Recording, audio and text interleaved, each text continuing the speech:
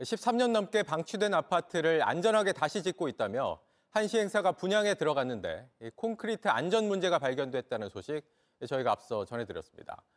이 시행사 대표는 재계 순위 30위 SM그룹 회장의 둘째 딸인데 직원들을 상대로 갑질을 해왔다는 의혹이 불거져 시민단체로부터 고발을 당했습니다. 먼저 권민재 기자입니다.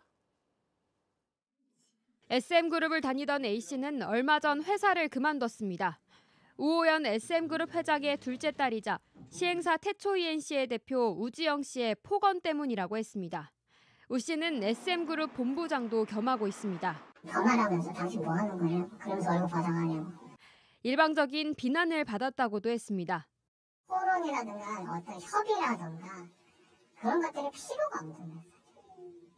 노예죠, 노예. 감정의 쓰레기통이라고 생각해요. 또 다른 사람들에겐 아들까지 들먹였다고 합니다. 내 아들이 중학교 2학년인데 내 아들도 이러고서 잘하겠어.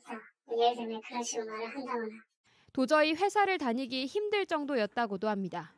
또 다른 퇴사자는 우 씨가 화가 나 종이를 집어던져 공황장애가 왔던 직원도 있었다고 했습니다. 장소를 가리지 않은 폭언은 협력업체 직원들에게까지 알려졌습니다. 우 씨가 모델하우스 같은 공개적인 자리에서도 직원들에게 모욕적인 말을 멈추지 않았다는 증언도 있습니다.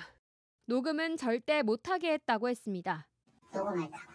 녹음을 해- 한다는 거에 대한 굉장히 트라우마 공포가 있어요. 회의 전에는 휴대폰이나 태블릿 PC 등 전자기기를 아예 맡겨놓게 했다는 증언도 나왔습니다. 회의실에 일단 들어갈 때는 전자기기를 못 들고 들어가거든요. 한 시민단체는 지난 15일 우 씨를 서울경찰청에 상습폭행과 명예훼손 등 혐의로 고발했습니다. SM그룹 측은 폭언 의혹에 대해 아무런 답변을 하지 않았습니다. JTBC 권민재입니다. 안녕하세요. 뉴스룸 앵커 최재원입니다. JTBC 뉴스룸을 시청해주신 여러분 고맙습니다.